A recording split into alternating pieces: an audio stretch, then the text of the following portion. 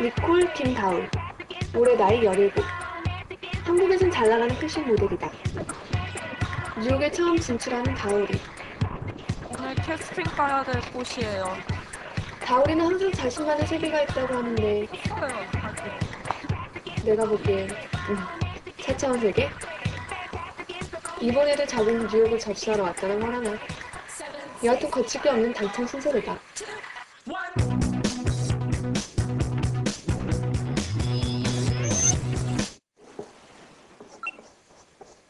이게 제가 하고 있는 시리즈인데요. 자학 시리즈예요.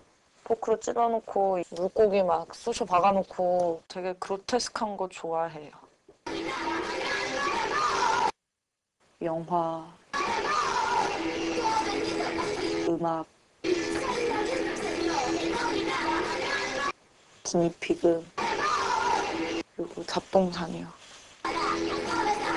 2006년 올해 신인 모델 상 받았어요. 너무, 너무 좋았어요. 길 가는데요. 포토그래퍼가 뭐 모델 할래? 이래가지고요. 찍게 된 게 이거예요.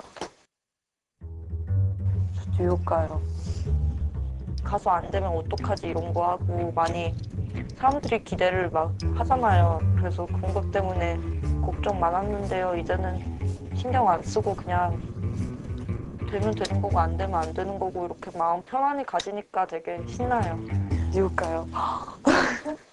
간단해 간단해.